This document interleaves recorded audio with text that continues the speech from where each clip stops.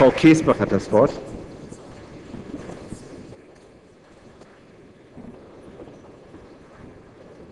Sehr geehrter Präsident, sehr geehrte Damen und Herren.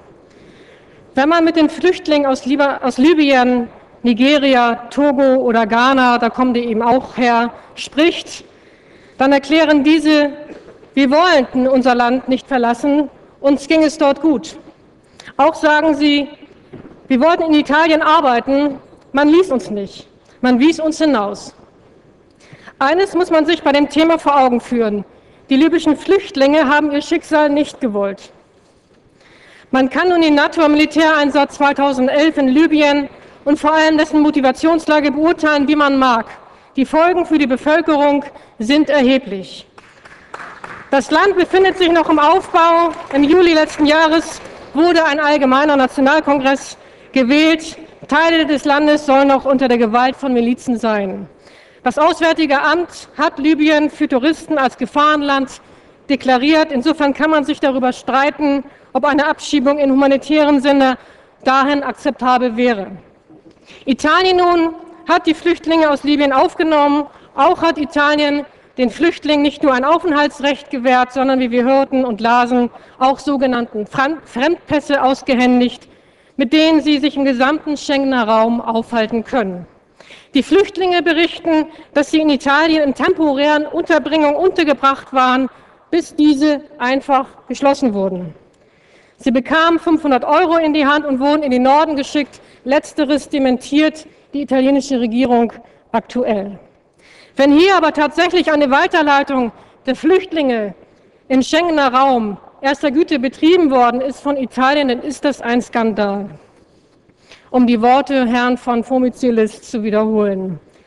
Nach dem Dubliner Abkommen ist bekanntlich der Mitgliedstaat, der die Aufenthaltserlaubnis erteilt hat, für die Prüfung des Asylantrags zuständig.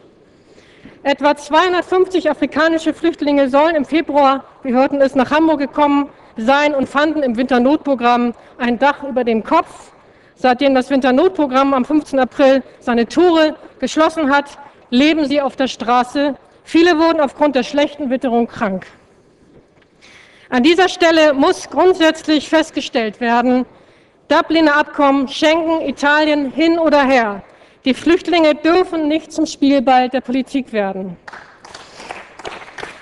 Mit den Flüchtlingen kam die Not nach Hamburg und damit ist es nicht nur die Not der Flüchtlinge, sondern auch Hamburgs Not.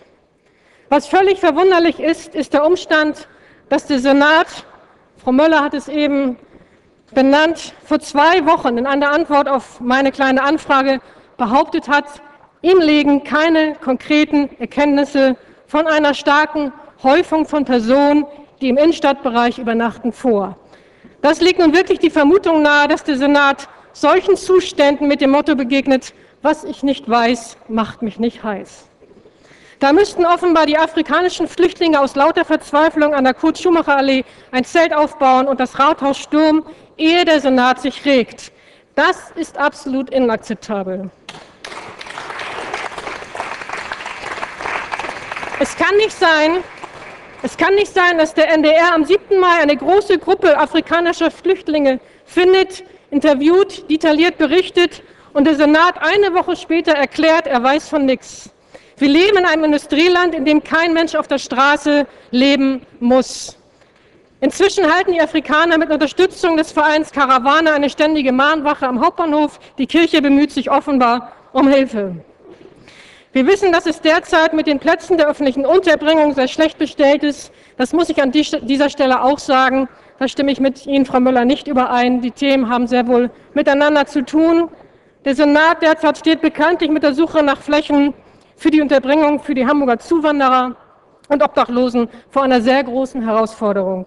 Laut Hamburg Journal vom 23. Mai sind alle öffentlichen Wohnunterkünfte belegt. Es soll lange Wartelisten von obdachlosen Menschen geben. Trotzdem ist dies kein Grund, die Augen zu verschließen, wenn sich eine Gruppe notleidender Menschen vor der Tür auffällt, vor der eigenen Tür auffällt.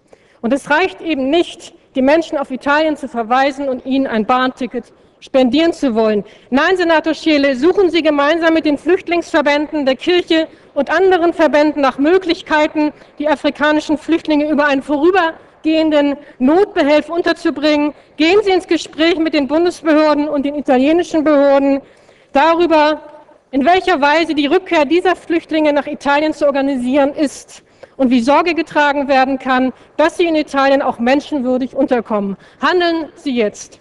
Danke für Ihre Aufmerksamkeit.